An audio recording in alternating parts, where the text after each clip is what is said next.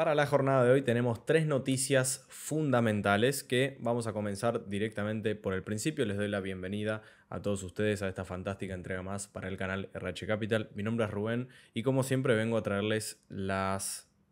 digamos, la data fundamental para lo que es cada día y básicamente empezamos fuerte porque a pesar de que tenemos un Bitcoin que está subiendo bastante fuerte, tenemos algo que es aún más interesante todavía y comenzando con la primera noticia, ya vemos que tenemos un contexto bajista, al menos desde el lado de las fundamentales, si nos vamos hacia este recorte periodístico que menciona que la deuda de tarjetas de crédito de Estados Unidos alcanza un máximo histórico de 1.14 billones de dólares. Y quiero que entendamos un poquitito todo esto. Eh, por lo menos desde el lado fundamental estamos en un contexto bajista, básicamente porque menciona este recorte periodístico que el ciudadano promedio estadounidense tiene una deuda actual de aproximadamente 6.300 dólares por cabeza, lo que en el acumulativo propone este billón punto 14 de dólares, lo que correspondería a su vez un aumento de un 8% con respecto al año anterior. Ahora, todo esto sumado a que el gobierno estadounidense enfrenta una deuda actual de 35 billones de dólares, como fue mencionado en recortes periodísticos anteriores en este mismo canal. Y recordemos que en el pasado reciente, la, senadora Cynthia Loomis de Wyoming mencionó la posibilidad de pagar esta deuda con Bitcoin que generó una polémica, eh, ya que es algo también a lo que adhirió el candidato a presidente y actual expresidente de los Estados Unidos de Norteamérica, Donald J. Trump. Ahora, volviendo al tema de la deuda de tarjetas de crédito, un informe de Urban Institute muestra que el 60% de los adultos en Estados Unidos utilizan la tarjeta de crédito para realizar compras de comestibles, Cosa que, bueno, a ver, nos da la idea de que el efectivo pasó un poquitito a segundo plano, aunque parezca bastante normal el hecho de hacer compras con tarjeta de crédito, pero en el contexto actual de los Estados Unidos que se convierta tan a segundo plano el efectivo con respecto a, digamos, si lo ponemos en contraste con las tarjetas de crédito, ya medio como que puede llegar a, digamos, corresponder al hecho de postergar el evento, lo que muestra básicamente las cifras de deuda que estamos teniendo ahora mismo en el acumulativo. Ahora, para sumar un evento más, y cito esta vez, la Reserva Federal ha dejado los tipos de interés en su nivel más alto en 23 años. Sin embargo, esa inactividad generó pánico en medio de los preocupantes datos de empleos de julio, que recordemos que salieron hace un par de días atrás los datos de desempleo, cosa que no pegó para nada bien, digamos, en la economía, cosa que justamente el mercado bursátil reaccionó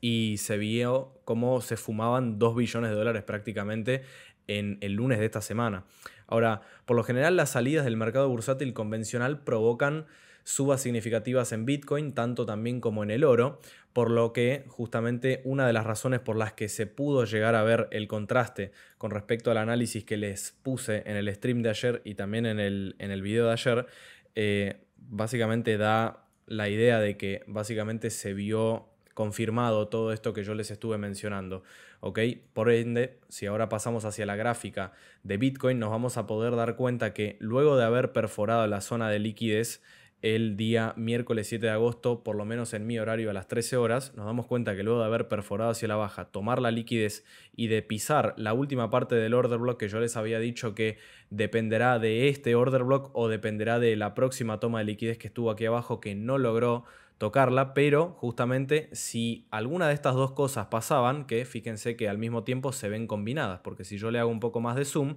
nos damos cuenta que luego de haber pasado por debajo del mínimo, por debajo de este swing low, donde claramente se han tomado stop de la gente que tenía la tentativa de irse en una posición en short, en una posición en corto, combinado con lo que sería el order block y el order block de aquí, del día lunes 05, del lunes 5 eh, de agosto a las 19 horas para mi horario, horario de la República Argentina. Fíjense cómo estas tres zonas se van combinando y yo se las voy a marcar, zona número 1, zona número 2, que sería la, del order block, y después la de la toma de liquidez. Fíjense cómo todo confluye a un único punto en donde se produce el rebote y misteriosamente tenemos este mm,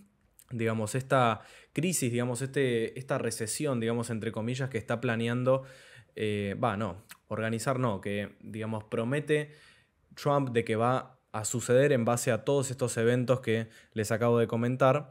Y fíjense qué interesante, porque la salida de mm, activos financieros en el mercado bursátil, en el mercado convencional, que genera esta clase de subas, justamente también atada a la suba del oro, fíjense qué interesante, porque a medida que va subiendo, nos damos cuenta que va básicamente fumando distintas zonas de liquidez, y fíjense como en este caso perforó hacia arriba y ni siquiera le importó, pero presentó una pausa bastante importante en el valor actual, que es 59.600. Quizá que, bueno, justamente fíjense que va a tener intenciones de irse hacia los 60.000 porque prácticamente está a nada, pero fíjense cómo este swing high lo hace dudar en la gráfica horaria, en la gráfica de una hora, y si ahora nos vamos hacia la gráfica diaria, hacia la gráfica de un día, nos podemos dar cuenta que el siguiente punto de toma de liquidez sería recién en el valor 70.067. Entonces, a pesar de,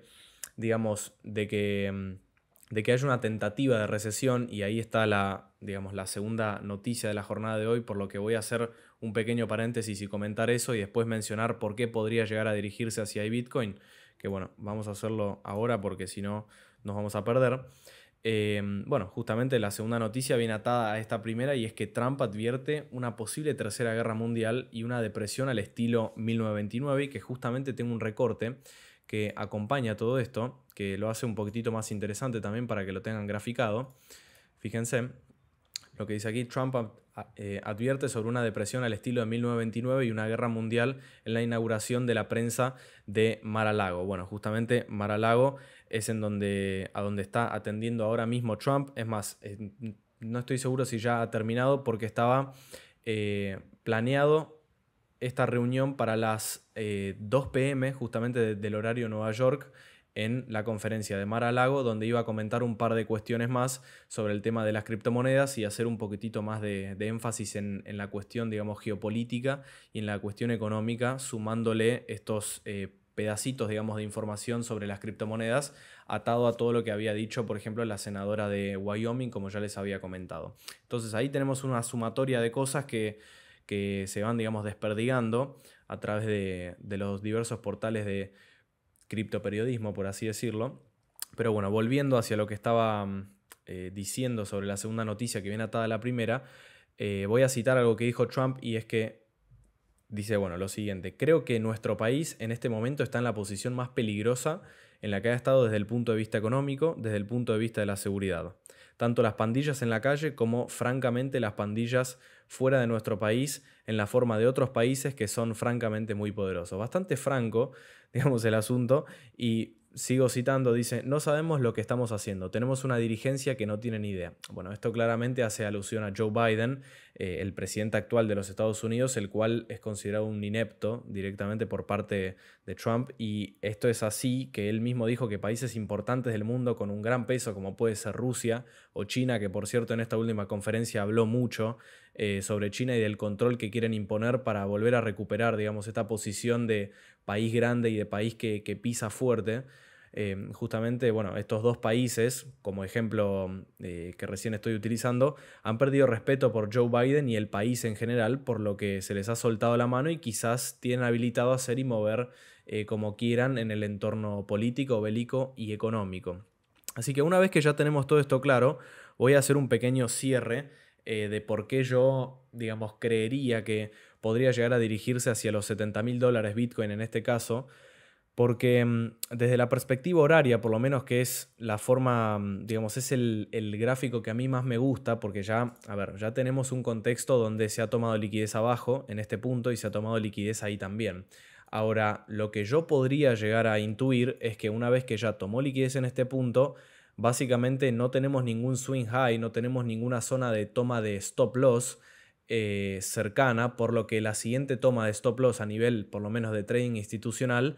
eh, sería el valor 70.000. ¿Se entiende? Entonces, probablemente ahí recién podamos llegar a ver una baja, por lo que yo veo un bull run bastante claro, por lo menos si no vemos indicios de continuación de baja, justamente, que es justamente lo que yo les dije en los dos o tres videos anteriores, que si pasaba esto de que perdíamos este último valor que estaba planteado en 54.700, pueden ir a revisar esos videos. Si perdíamos ese valor, nos íbamos a dirigir directamente hacia 52.000 para posteriormente, si tenía ganas de seguir, hacia 49.500. 500 aproximadamente. O sea que prácticamente tenemos vía libre y parece que tendría intenciones eh,